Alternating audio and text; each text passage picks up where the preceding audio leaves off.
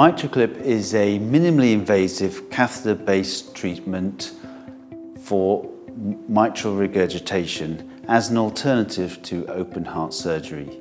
In this procedure, a small clip is introduced through a vein at the top of the leg into the heart and that is used to reduce the amount of leakage in the mitral valve. The main advantage of MitraClip is that it avoids the need for open heart surgery and all the risks associated with that. This can mean a faster recovery and quicker return to normal activities. It can also be associated with less risk of serious complications, although these still can occur in rare cases.